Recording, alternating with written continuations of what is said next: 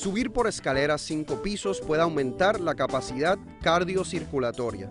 También por cada minuto que pases subiéndolas, podrías llegar a quemar entre 5 y 10 calorías. Tu reto del día es dejar a un lado el ascensor y usar lo más posible las escaleras.